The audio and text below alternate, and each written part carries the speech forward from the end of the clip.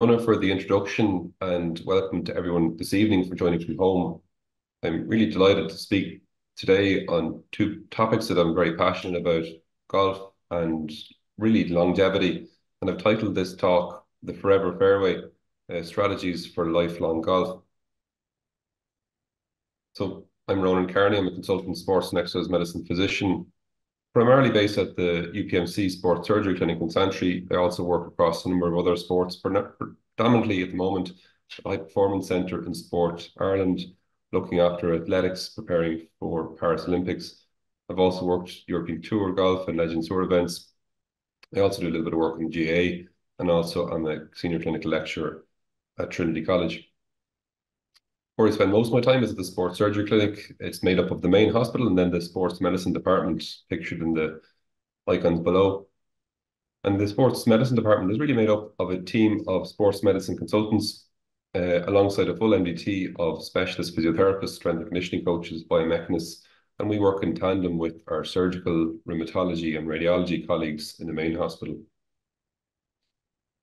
Working in golf is very rewarding, and I hope that some of the things I've learned from working in elite golf I can apply to the recreational golfer also.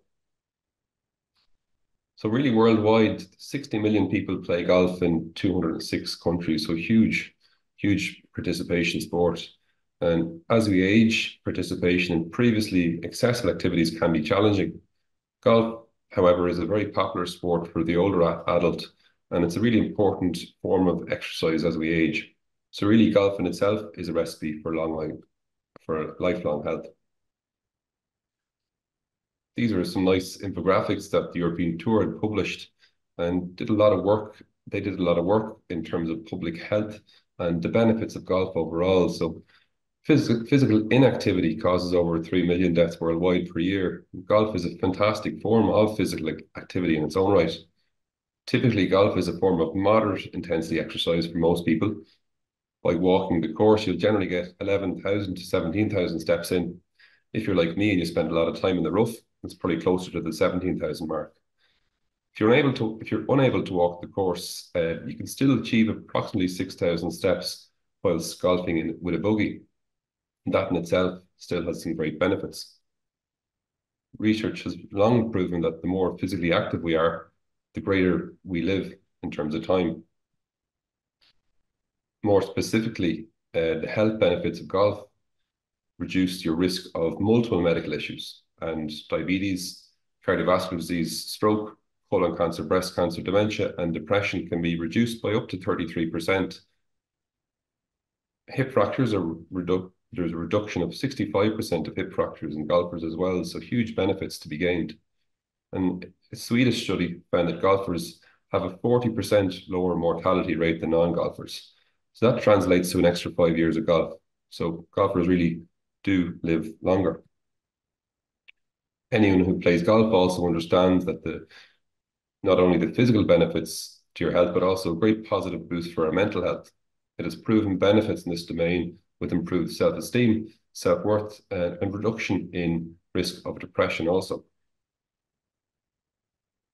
Golf is, however, associated with a slightly increased risk of skin cancer. So anyone who golfs out there, just make sure to get your skin checked on a regular basis. And, and definitely from our pale Irish uh, skin, we need to have our factor 50 at the ready. This is something that we share with professionals on the European Tour in terms of some reminders to both them, but also applies to the recreation golfer in terms of that skin care. So don't don't leave the factor 50 out of the bag. I suppose golfers can develop a number of musculoskeletal issues, which may or may not be related to the sport itself. And that's really where we as sports and exercise medicine physicians can help. We really strive to keep you as active as possible on the course as long as possible so that you achieve all those health and social benefits that we know golf brings. So what are these common issues that might we might be able to help with? A recent uh, study looked at the common career injuries in both amateur and professional golfers and as you can see from the table here, the most common injuries in amateur golfers are really elbow, lower back, hand, wrist, and shoulder. Lifelong golf can most definitely be cut short by injury, so appropriate management of such injuries is essential to getting you back on the course. So for the purposes of today's talk, we'll focus on the amateur golfers, two most common injuries, the lower back and elbow. So lower back pain makes up 16% of amateur golfers' injuries and about 41% of professional golfing injuries. More likely to be more common in professional golfers due to the larger forces that generated, as well as the larger repetitive load placed on the lumbar spine, with professional golfers hitting hundreds of golf balls a week generally. There are a number of factors that are modifiable. These really mean that these are factors that can be changed to reduce your risk of lower back pain playing golf. These are a reduction in BMI. Uh, modifiable factor include poor strength, flexibility, and coordination. There are certain swing biomechanics that can lead to lower back pain. And then we know that actually carrying a bag on one shoulder can increase your risk of lower back playing golf. So the golf swing is considered one of the most difficult movements in sports. And to perform a golf swing, there's a powerful action required with rapid rotational forces being transferred to the golf ball, with lots of compressive load placed in the lumbar spine, calculated to be about seven to eight times body weight. And recreational golfers have a higher degree of variation in, in swing, in muscle activation during the golf swing itself. We know that older golfers have age-related uh, muscle changes that influence their swing performance as well. And there's three typical swings that have been associated with lower back, lower back pain golf in golfers. So the top early extension, where our hips come forward into the hand space during the swing. On the left-hand side, we see that early extension. On the right-hand side, we don't see that early extension. In the middle, we see a reverse C finish on the left-hand side, which puts greater load on the lower back structures. And on the bottom, we see the reverse spine angle on the left-hand side, where we have an overextension of the lower lumbar spine during the backswing. So some of these are suspected to be associated with some lower back pain symptoms. Not to get too technical here, but there are certain swing mechanics that are more common in those with back pain. So it's really important for such mechanics to be identified and really to work closely with your golf professional to address these issues in your swing as part of the management of your injury. Some other potential modifiable factors include flexibility of hip, shoulder, thoracic spine, and lumbar spine as well. So important not to neglect these in terms of your management. It's obvious that strength plays a large part both in prevention and management of golfing injuries. The professional, professional game itself has been transformed over the past decade, with most top golfers now putting a large emphasis on strength and conditioning, and understanding that having such preventions in place reduces their risk of injury and also improves their performance. The same principle can also be applied to the recreation golfer. So there's a number of a number of different potential causes of lower back pain in golfers. Now we're not going to get into these in detail today, but really any any of these can be a potential cause to really get to the root of the problem, the lower back pain, you need to have a full assessment, both in terms of a clinical assessment, strength assessment, flexibility assessment, oftentimes biomechanics assessment, and at times imaging is necessary. To manage lower back pain in golf, really, if we take a general approach here, education will form a huge part of that. So in terms of making sure that you're aware of what you need to do to improve your symptoms. Weight loss can form part of the management and as we spoke about, muscle strengthening and control exercises, as well as flexibility exercises, can also be helpful. Looking at your swing biomechanics can be important as well to work alongside your golf professional, assessing that as well. But really early golf specific rehabilitation is, is would be the most important aspect here.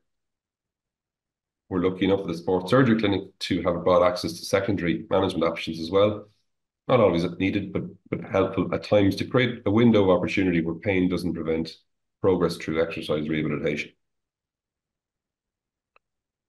The second most common injury in golfers being elbow, and it's often an overuse injury, more common in females. And unfortunately, the term tennis elbow, um, synonymous with, with playing tennis, but actually more common in golfers um, in 85% of cases risk factors for developing elbow pain in golfers there's multiple different types of reasons. So that can be due to hitting too many balls in too short a time in terms of an overload. Maybe the grip is too tight or maybe it's too slippy. You may be hitting the ground before the ball. Uh, or if you try to change your swing very quickly without gradually trying to uh, increase the load. Can also be referred from your cervical spine, so important to keep that in the back of your mind. Oftentimes we'll see uh, wrist flexion changes at impact of the golf ball that can lead to different loads placed on the elbow. The wrist flexor burst at impact is considered to try and increase clubhead speed, but can lead to some uh, additional forces placed on both the outside, the lateral, and the inside medial part of the lead and trail elbows. So important with golfers with wrist pain that wrist um, position impact is assessed. There can be a number of different causes for elbow pain in golfers. Again, that would need to be assessed. As we said, inside of golfer's elbow is that medial epicondylopathy, and outside of golf, outside of elbow pain, generally is that lateral epicondylopathy. But really, to, to truly find out exactly what the issue is, you'll need a, full assessment, both a clinical assessment, at times a strength and flexibility assessment, and as we mentioned before, biomechanics assessment, and at times then investigations such as imaging can be necessary. Management for elbow pain in golfers depends on the diagnosis itself, but generally will consist of education of your problem, um, strength-based rehabilitation, looking at the biomechanics again, and again, coming back to that golf-specific rehabilitation. Some helping aids can be a supportive brace or, or maybe even changing your grip size but again, will all depend on the injury itself. Management options um, that can be helpful uh, for elbow-related pain in golfers may include ultrasound-guided injection options such as platelet-rich plasma, potentially corticosteroid, or at times extracorporeal shockwave therapy may be helpful. So what is extracorporeal shockwave therapy? Really, it's shockwave. It works by emission of acoustic waves with their shockwaves, which carry energy to the injured tissues. These shock waves can generate tissue responses that can produce many beneficial effects, such as pain relief, increased blood flow, cell growth, and where needed, can disrupt calcium deposited in injured tissues. The combination of these effects can lead to improvement in injury recovery at times. Now, what is PRP or platelet-rich plasma? Really, it's a form of regenerative medicine that harnesses the body's ability to try and increase natural growth and healing factors to try and improve injury recovery. The blood is taken as it would be during a simple blood test, spun in a centrifuge, and then the PRP portion, which contains concentrated healing cells and factors, is injected accurately under ultrasound guidance to the target tissue. PRP is less side effect profile than traditional corticosteroid injections, and in many cases has been shown to outperform steroids in the longer term for many musculoskeletal conditions. So you've managed your golfer's elbow, but settled down, and now you're trying to ensure you have lifelong golf, as we initially spoke of. So performing a warm-up means that you're less likely to get injured playing golf. Injury is three times more likely in recreational golfers without a warm-up. Here are some of the sports surgery clinic's suggested warm-up routines pre-round uh, that you'll also find on the clinic website. I'd recommend that you save a copy copy of this and bring it to your into your pre pre-round routine. You'll often see professionals preparing for rounds hours in advance, and most of the time the rest of us are rushing out of the car to get to the first tee. How many times has it taken you two or three holes before you feel your body is ready to swing a golf club? So try and arrive early to the golf club, spend 10 or 15 minutes carrying a free uh, golf warm-up and hit a few balls in a practice ground. And that should help. There's been a few questions ahead of today's talk on osteoporosis in golf, so I better speak on a little on it here. I suppose firstly, osteoporosis is a condition that means your bones have low bone mineral density and are at increased risk of fracture. It's a medical diagnosis made with the help of DEXA scanning. There can be a number of potential causes, but it's very common in about 20% of females and 6% of males over 50 years of age in Ireland have osteoporosis. It's vital that those with osteoporosis are managed appropriately, medically, often with the help of your doctor and rheumatologist, Resistant exercise plays a huge role in the treatment of osteoporosis and really should be guided by your healthcare professionals. While golf is considered low impact, individuals with osteoporotic lower back or lumbar compression fractures should really discuss with their doctor before participating. It's crucial to assess the person's overall health status, bone density, pain levels, and functional strength abilities before having that decision. I look after a number of golfers with osteoporosis, and there's a number of different tips in terms of the golf swing that can reduce their chance of, of further injury. Firstly, working closely with their golf professional to ensure that their golf swing is, is a good technique. At times, rotating your lead uh, foot to externally can improve some movement through the hip joints and reduce that stress in the lower back. Shortening the backswing can decrease that rotational side bending stress in the lower back. Even something as simple as standing a little bit closer to the golf ball can reduce that forward bending and rotation of the lower back. So there's a number of different mechanical tips and tricks that can actually reduce your lower back stress, especially if you have osteoporosis. These can may well help from, to allow you to continue to golf into the future. So in summary, um, strategies to support injury-free golfing among recreational golfers include really a holistic approach that includes appropriate management of medical issues and injuries, exercises to improve strength, flexibility that act as both health and performance boosters, as well as injury prevention, working alongside a knowledgeable golf professional on your technique in tandem with your sports medicine physician to help identify any potential swing biomechanics that can may lead to future injury. Prepare to fail, fail to prepare. So ensure an appropriate warm-up prior to playing. And most importantly, have fun golfing. Any exercise that you enjoy means you're most most likely to do it into the years ahead. And this, as we spoke of, is going to get great health benefits for many years into the future. We're very lucky in Ireland to have such incredible golf courses, and I was lucky enough to grow up not too far from here, County Louth Golf Club. With some of the strategies we've discussed this evening, hopefully you'll be able to continue to spend years ahead in incredible places like this. As we spoke of, golf is a fantastic form of exercise for all. Not only does it add years to your life, but it also adds life to your years. And I look forward to helping keep golfers of all levels, abilities, and ages on the golf course and enjoying themselves for many years to come.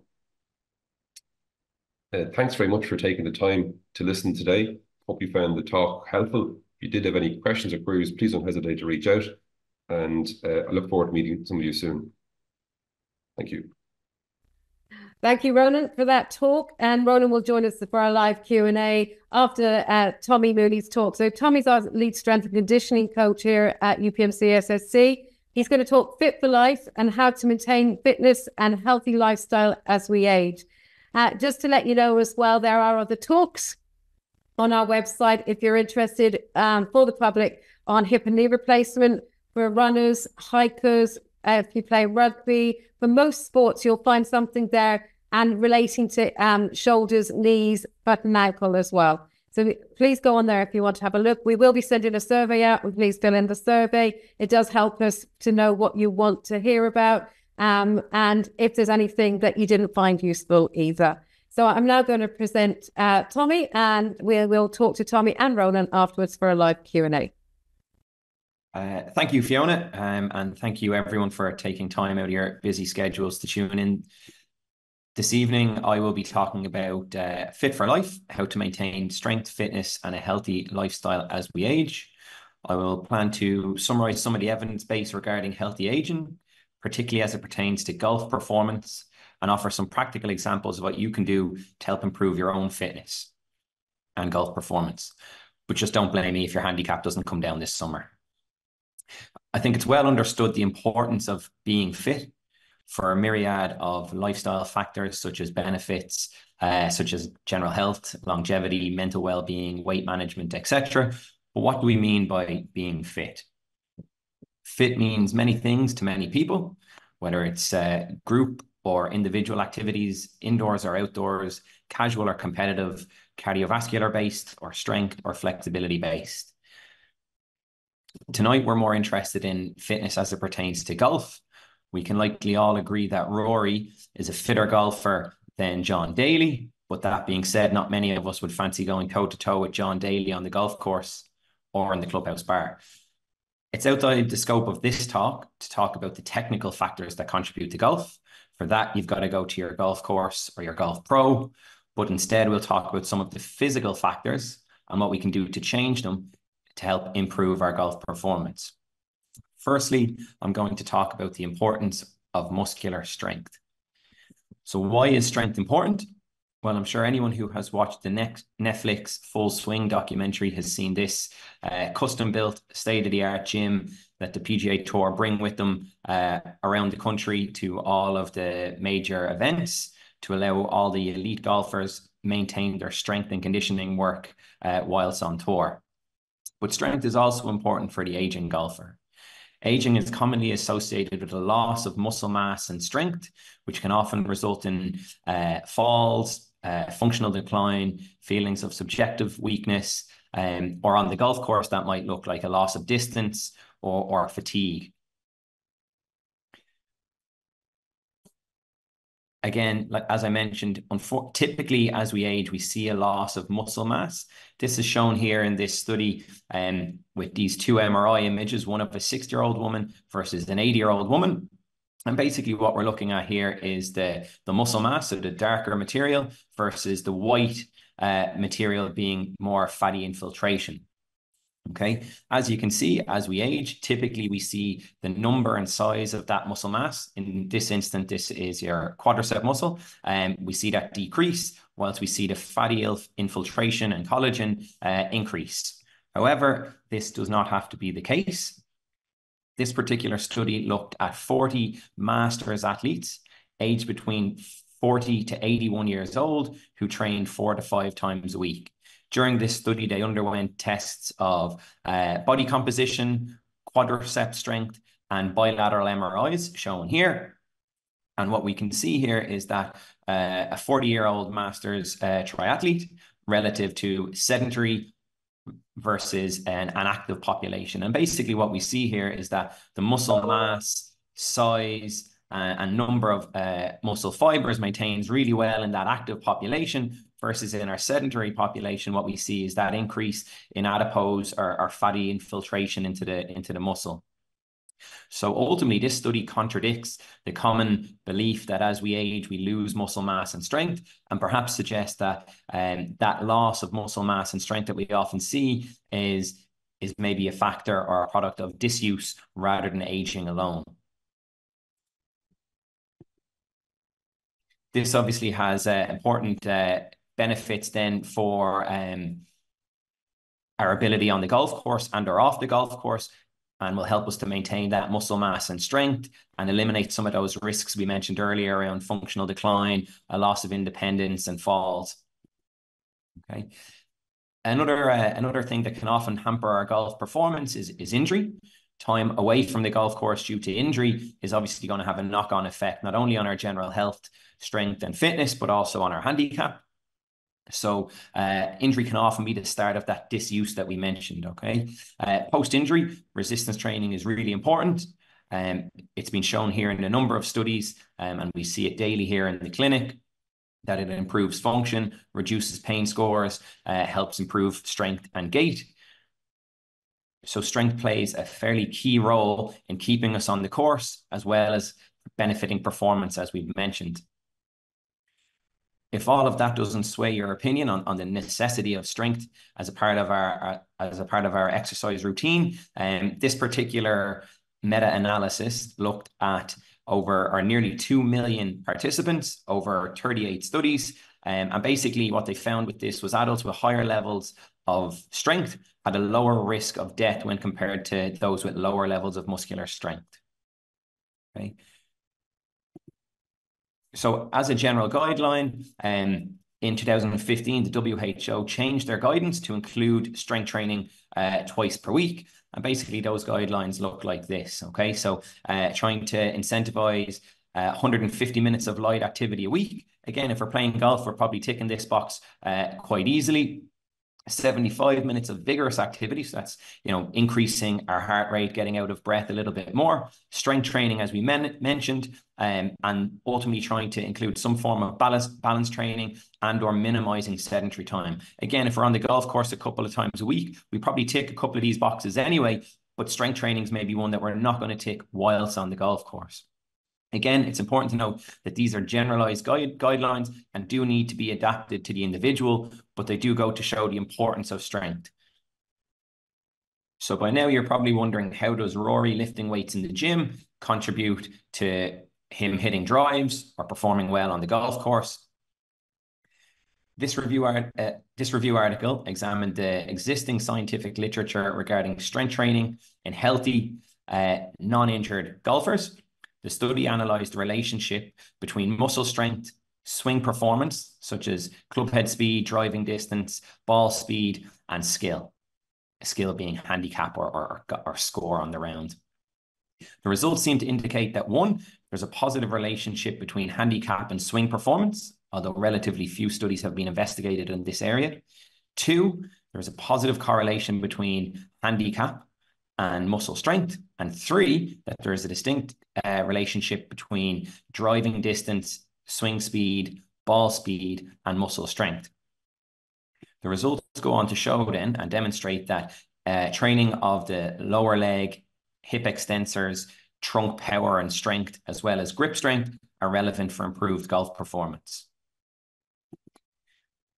This slide shows a, a sample training program uh, or strength plan for uh, for a golfer. Obviously, it's important that these programs are individualized, so it is it is best to consult a professional when when looking to begin any any new strength plan. Um, ideally, we want to try and meet the individual where they're at. For example, someone who has a history of training regularly versus someone who's coming from a more sedentary base. Um, this particular example is a six-week program aimed at a relatively well-trained individual with a good experience of strength training to show you some of these exercises.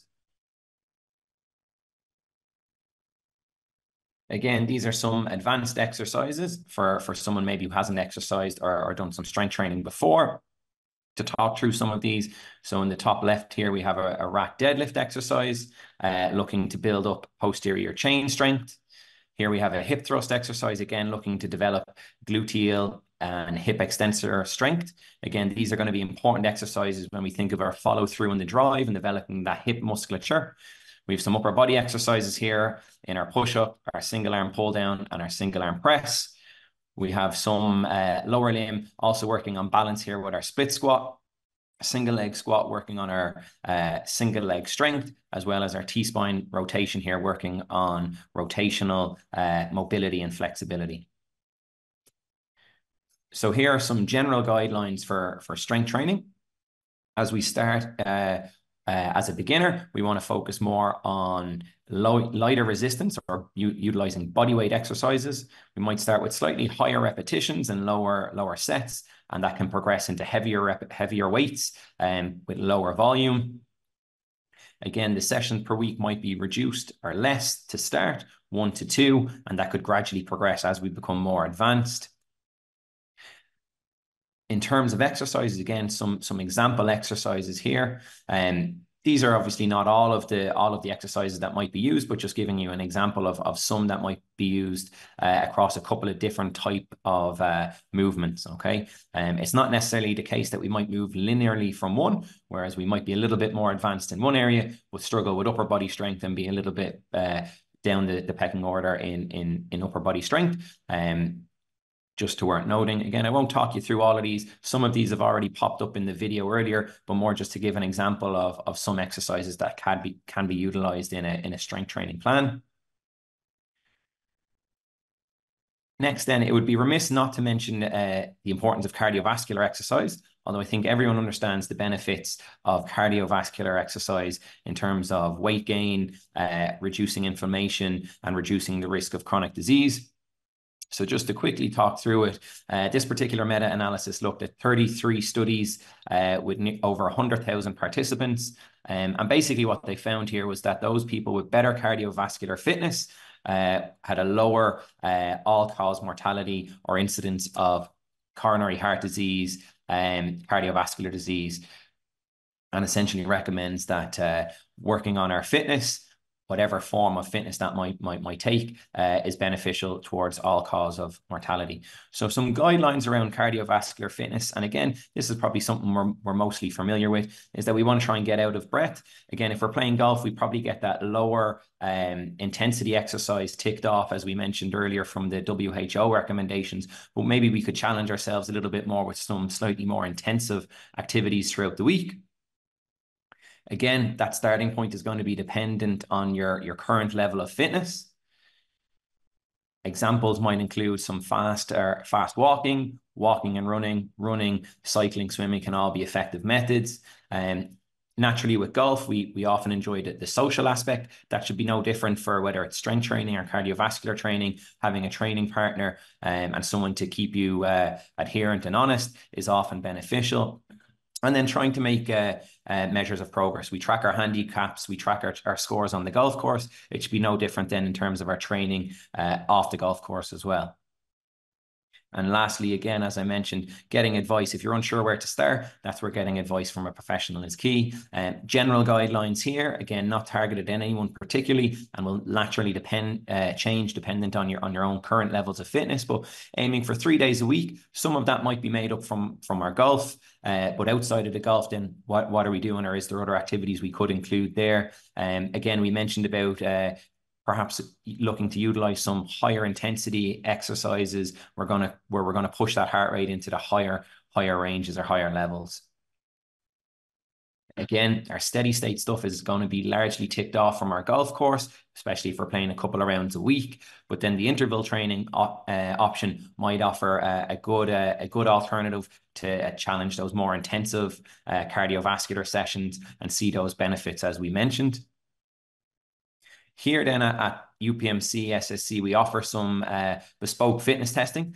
It is covered by uh, a series of different uh, health insurers. VHI in particular offer uh, to fully cover the cost of, of our fitness testing here. Um, the fitness testing uh, covers a very a variety of different uh, elements. So we'll look at body composition, upper body strength, lower body strength, as well as power. We can also include swing speed assessment, um, as well as a cardiovascular fitness test uh, or VO2 max, which can be performed on a treadmill as shown or on an exercise bike. Testing is obviously one part of the equation, but then it's implementing those testing results into a bespoke, uh, into a bespoke program for the individual, depending on what their goals are. Um, and again, off the back of all this testing, then we can offer a bespoke training plan as well. Again, that's all included as part of the, the VHI package, as I mentioned earlier. So if you if you would like more information around that, you can email the email below, or if you do have any further questions, I'd be happy to answer them now as well. Tommy, uh, Tommy and Ronan here now. Thank you, Tommy, for that presentation. So they're both here now, and we're going to go through. There's a lot of questions coming in. So the first question is from Fiona about: Do you see a different distribution of golf injuries between male and female? Firstly, and then at different ages. Now, there are two more questions about teenagers in there, so I'm going to combine them with that as well. But if we just start with the male and female. Yeah, no, great question. I'm happy to answer that one. Um, so definitely in female golfers, we definitely would see quite a lot of hip-related symptoms, generally around the, the outside of the hip or the lateral hip, I suppose. Traditionally might have been known as trochanteric bursitis, but generally we find that it seems to be a lot related with the gluteal tendons and um, and, and and generally weakness around this area. So strength and and and conditioning forms a huge part of treatment of that. Um, from that side of things, I suppose in terms of um the the older male golfer, as we discussed in the talk, lower back pain and elbow issues seem to be very common uh, in the recreational older golfer. Um, and osteoarthritis obviously plays a big part in terms of knee and hip as well. So I suppose from from that male versus female, definitely there's a there would be some more common in females than not, and, and likewise in males as well. Um, in terms of the the teenage golfer and younger golfer, you know, tend to see more bone stress injuries in, in lower back uh, as as probably one of the more common injuries that we would see in, in the sports surgery clinic with golfers of that age group. And generally they'll they'll they'll have come in, they've played quite a lot of golf. They might be on a number of different sports teams outside of the golf course itself.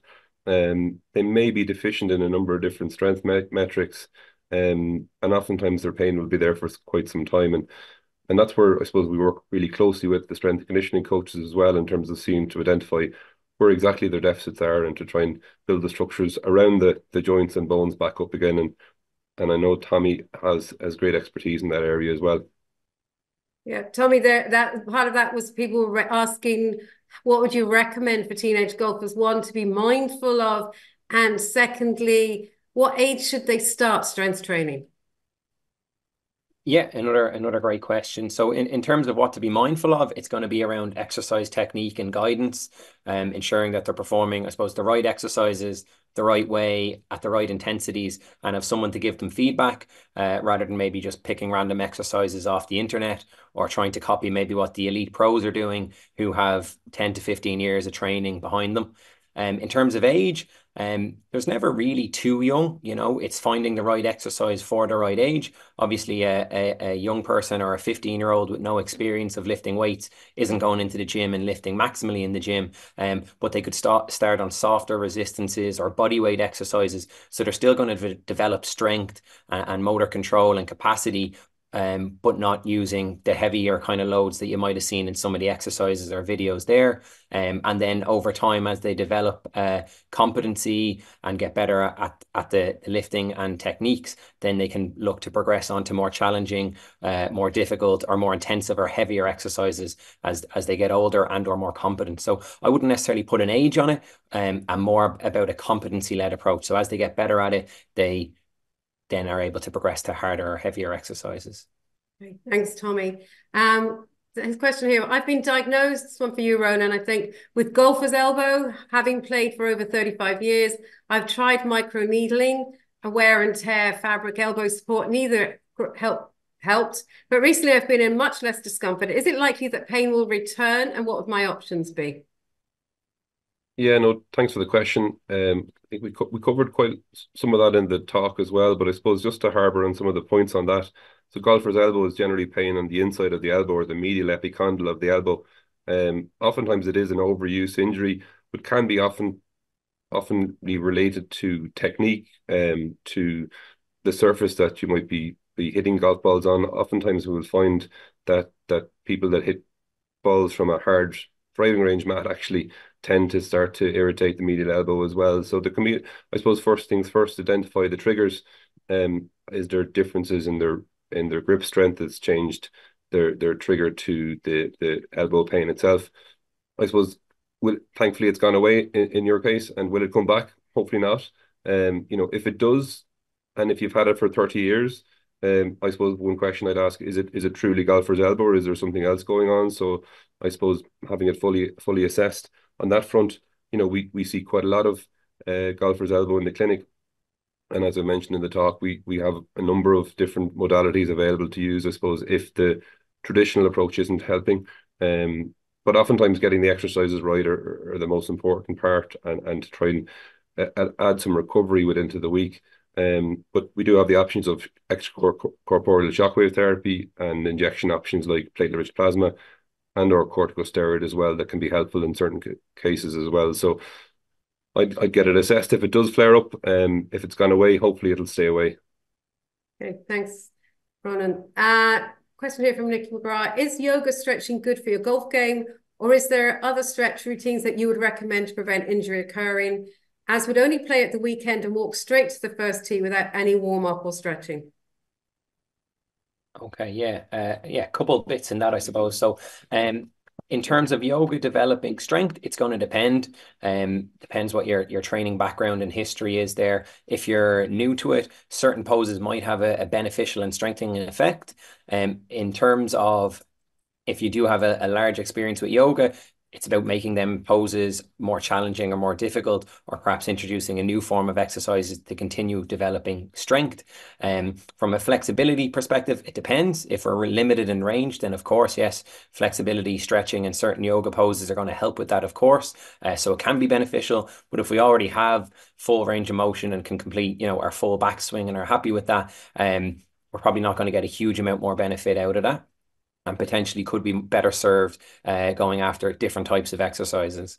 Um, from a warm up perspective, yeah, it's going to be pretty crucial. Um, golf is obviously a game of of skill, so I would suggest for your warm up, you want to try and make it as golf specific as possible, which is probably going to mean getting onto the putting green or chipping or into the nets. Um, I suppose the counter argument there is that a game of golf might last four or five hours, so you want to be careful that you're not uh, fatiguing yourself before you go out and then you know you, you blow up over the last six holes. So it's about trying to find the sweet balance there between uh, enough to physically warm up mentally warm up, but not fatigue yourself so that you're going on to the first tee tired or, or, or paying for it later. So that you can, I suppose, optimize your performance on the first tee, but also still maintain that then onto the onto the 18 tee box as well.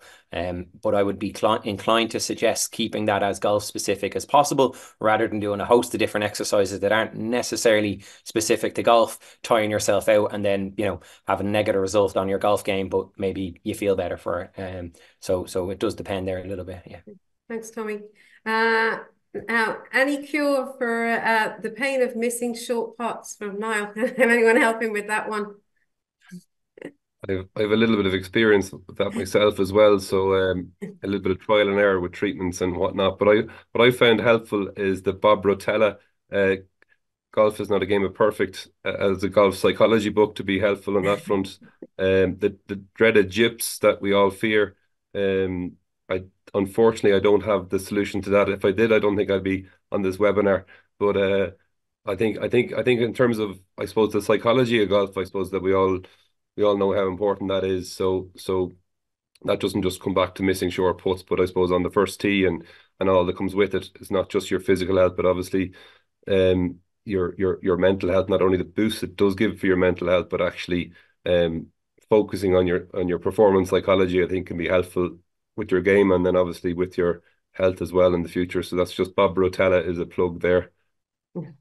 Thanks, Ronan. Um, uh, someone said, Kieran, I see a lot of influencers take, talking like doctors on Instagram in relation to mobility after one TPI course. Have you seen many injuries from likes of this? Yeah, I might take that question as well. Um. Look, I, there's a number of different courses out there. I know that course, familiar with it as well. It's it's quite helpful from a functional patterns and a and a functional movement of the golf swing. It's interesting. Um, I suppose the challenge is that I wouldn't um I wouldn't um brand all golfers under the one brush. I think taking an individual approach. We we know that everyone runs differently, everyone moves differently, everyone swings the golf differently. Um, so I think by by giving everyone with the the copy and paste approach to to management of their injuries, I suppose it just doesn't really work for the most part. So taking an individual approach on both their their movement of their golf swing, their movement in general, their strength, and and their injury, I suppose, is the most important important aspect there. So yeah, there is there is benefit of of, of some of those courses, but um, I think treating everyone as an individual rather than as a group is the most important uh, takeaway from that question, really, for me. Okay. Now, so Anya here's asking about returning to golf. Anything to be mindful of returning to golf after a hip replacement. Now, I know we're always going to say anyone that's asking about after certain surgeries, they should always check in with their surgeon first on their six week review or their three month review, whether it's time to go back. So I suppose once they've been given the okay by their surgeon, then what should they be mindful of once they return out there? Yeah, yeah. So like you said, it, it depends on what stage of the, the rehab journey yeah. they're at there. Um, the key thing is that it's progressive. Um, you know, we're starting light and gradually building up. So, you know, very early doors, obviously it's going to be a sore and stiff hip. So we want to try and gradually progress the range of motion there. We want to get back into building up the strength in those muscles that are going to be sore and deconditioned after the surgery. It's about getting back walking with a normal gait pattern and then gradually increasing that walking volume from there, once we've been given the all clear and we've kind of ticked those boxes, then maybe introducing some rotational type exercises. So kind of practicing the golf swing again. Um, and then it's a gradual progression from there. So, you know, initially it's probably getting down to the range and practicing at the range under, like, I suppose, your own kind of time remit. Um, and then gradually building up your, your, your golf volume. So starting at nine holes or even six holes and just gradually progressing that. The the really important thing is that we're back very comfortable walking with our normal gait pattern before we're looking to to take on 18 holes because obviously there's going to be a lot of steps over the course of a, of a round so we want to have built up that bit of conditioning off the golf course so that we can take it onto the golf course thanks Tommy Okay, thank you. Um, what is the best recovery for Achilles tendonitis after numerous physio appointments? It's still not clear after nine months. Is further investigation a better option? Example, MRI, X-ray, and a consultant appointment. Yeah, look, I suppose tendinopathy in general, we would see quite a bit of that at the uh, in the sports medicine department, and Achilles tendinopathy would be really one of the most common things we would see on that front. Um, it's a common issue. There's multiple different causes to it. Um, I suppose treating it uh, on a case by case basis is the most important. We could get into the the detail of it in terms of different types of Achilles tendinopathy, those that occur at the insertion point of the heel versus those that occur at the mid portion or the middle point of the Achilles tendon itself are treated very differently. There can be associated conditions, inflammatory type conditions with the insertional type Achilles tendon problems. So oftentimes that oftentimes that involves some investigations, including blood work. Um, but for the mainstay, load management and and treating tendons, especially Achilles tendons, with appropriate exercise and appropriate loading exercises is the mainstay of management. There are additional adjunctive treatments that can be helpful from symptoms and and if there's more um, significant injury like extracorporeal shockwave therapy as we said uh, and obviously injection therapies can be at times helpful. Um, but again would depend on the detail of the injury itself. So if somebody is struggling for nine months with an Achilles tendinopathy um you know there there are there are there is help out there and don't be afraid to reach out. Okay thanks Ronan uh Tommy, one for you. Is swimming considered a weekly strength session? So swimming would probably fall more on the, the cardiovascular side of that equation. Um, obviously there's some resistance involved in it, but but typically no, it's going to be more of a, a cardiovascular type session. So still a lot of health benefits going to be associated that with that. But if we are specifically trying to train and develop strength adaptations, there's probably more um or better options out there, like some of the ones we mentioned in the talk earlier. Okay, Ronan. Uh, Ben, is it dangerous to play golf with a TFCC tear that was non-surgically treated five years ago? And can such injury heal? Can you give more information on the ultrasonic treatment mentioned by the doctor for the treatment, or can you recommend a treatment for thinning cartilage in TFCC tears? Yeah, so TFC, T, TFCC tears are they're basically tears at the, the little piece of cartilage at the, the, the end of your ulnar end of your your your your forearm bone basically and your wrist joint itself. I suppose firstly, if you were to get an MRI of your wrist, and we MRI'd every golfer in the country's wrist, we'd see a lot of TFCC tears that mightn't actually be causing the problem. So it's really important to to correlate or to basically correlate your your MRI findings with your clinical exam to make sure that that's exactly the structure that's causing the problems. Yeah, and if if it's a symptomatic or if it's a TFCC tear that's causing you problems and causing you symptoms, generally the first line treatment for that will will be injection therapy will be considered to be injection therapy. Um we generally do those injections under ultrasound guidance. Um generally it will involve a corticosteroid type injection.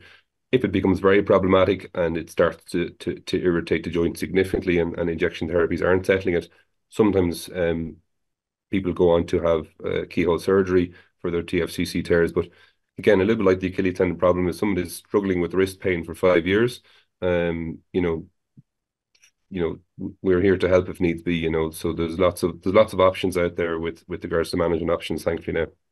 Thank you. Uh, Tommy, someone's asked here, let me just get that question. Tommy, do you think the Pilates reformer has part to play in offering a method for general injury prevention? Yeah, again, I suppose like like the other questions there, mm. it's it's going to be you have to take it on a case by case basis. So certainly it can be beneficial. Um, a lot of people will find it beneficial um, in terms of developing strength and conditioning throughout the core and kind of gluteal muscles. So it, absolutely it can be beneficial. Um, and ultimately it depends what level we're coming from. You know, if someone's been doing reformer Pilates for five years, maybe it's not as beneficial to them anymore. And there are other options. Uh, if you've never done it, then it's trying to find the appropriate level to start at that should help then develop strength. Um, so absolutely it can be beneficial. Like I said, there's a 101 different exercise, 101 million different exercise we can do to to try and develop strength. So it's not necessarily just the couple that I showed in the in the video in the in the video earlier. Um, there are lots of different options out there, and reformer Pilates is certainly one of them. Yeah. Okay, thank you. Um, can strength training help tendinopathies around the hips in women in their sixties if they're playing golf? That for me? Yeah, or Ronan? Well, oh yeah, absolutely, yeah, absolutely, yeah. Um, similar to kind of the the hip replacement question earlier, it's it's going to absolutely be beneficial and and certainly a part of uh, a part of what I mentioned in the talk about maybe that disuse or that loss of muscle mass and strength that we alluded to earlier. Um, and strength can help offset that. So it's absolutely going to be beneficial. Again, the key with ten- tendinopathies is finding the right the right kind of loading. You know, it's almost like a, a Goldilocks effect. We don't want to be too hot and too hard or, or too soft and too light. Um, so we want to try and find the right amount for the at the right person at the right time, um, and then gradually increase that progressively. So um, it's hard to say specifically what the best exercise for that person is, yeah. but certainly strength training as as a general concept is is going to be beneficial for sure. Yeah. Ronan, uh, Martin here said he's 50 year old. His significant number of his golf friends are having difficulty with their knees, specifically getting their knees replaced. Is this common? So it's probably more about yeah yeah, you, you mentioned osteoarthritis in your talk, so.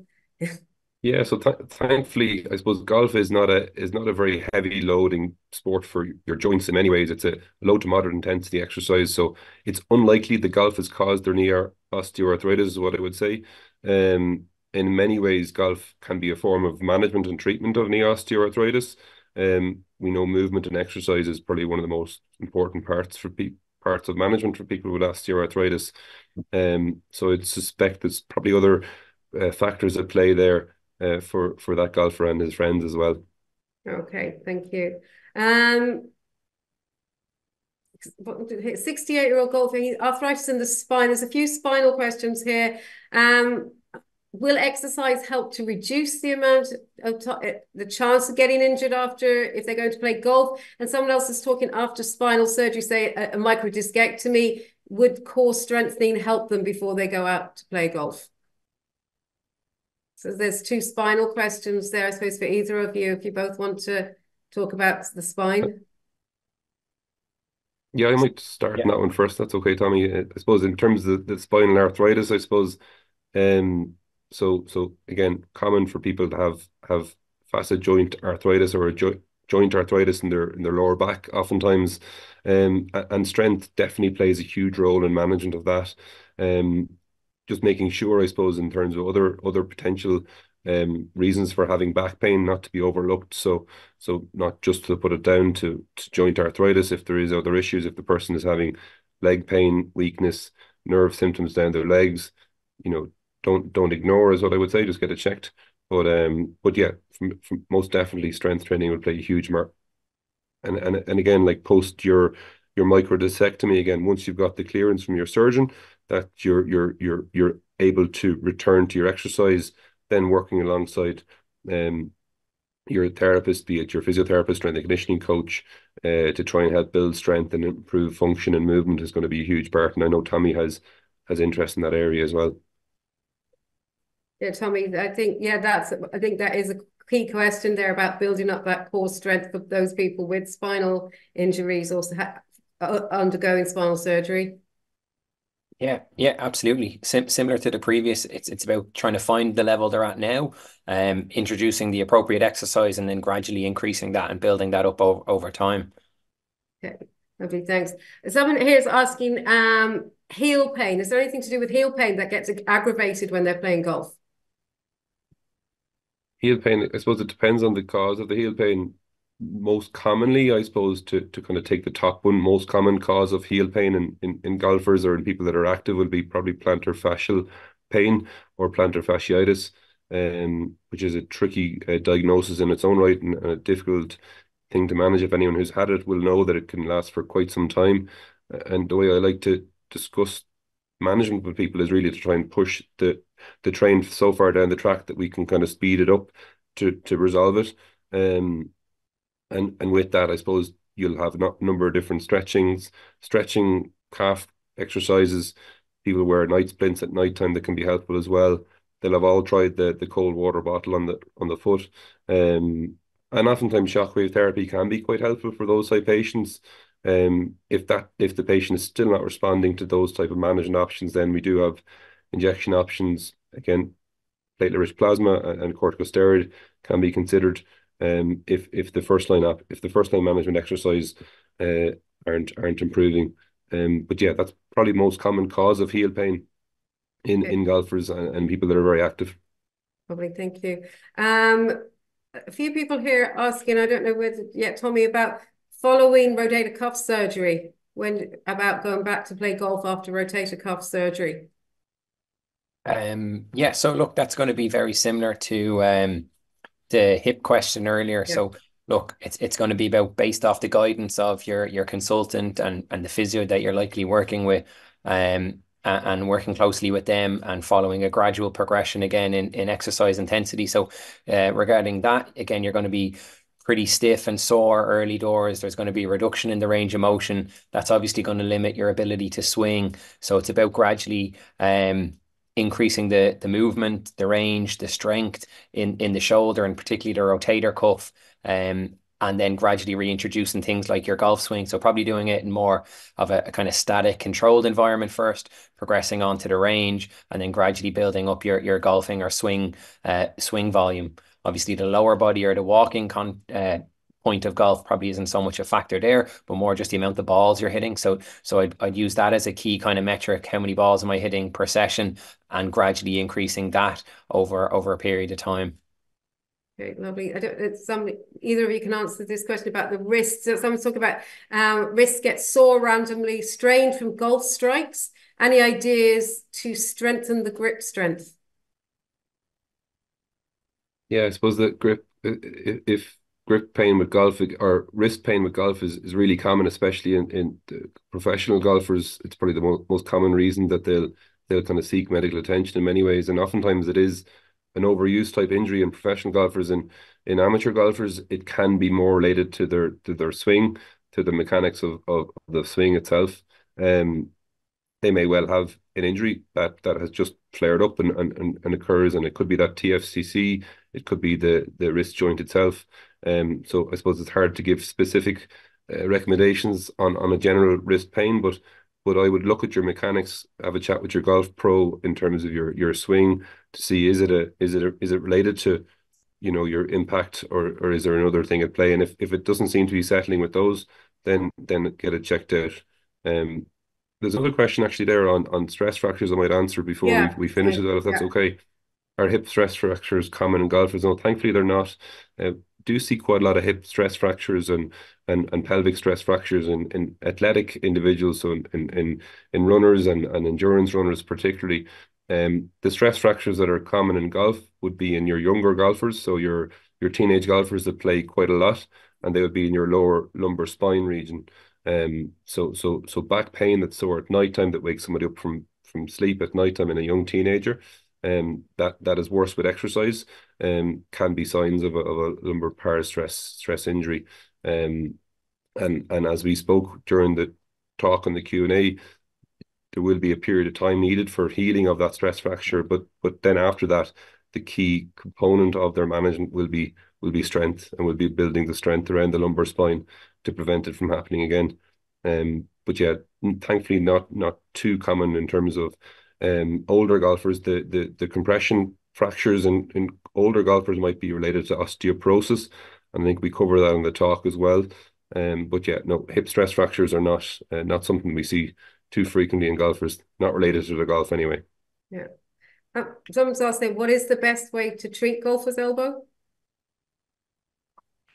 Yeah, that's I suppose we we covered some of that in the talk as well. Yeah. Um, yeah, so I suppose really, I suppose identifying the triggers, um, making sure that the exercises are appropriate for that person, um, making sure the diagnosis is correct, um, and if if if if all is not settling with those three approaches, then considering extra um management options like your shockwave, like your injection therapies potentially, um, and, and working alongside your golf pro in terms of your your swing mechanics and, to see if there is a a trigger in terms of um your your actual swing. Is that why you've developed it?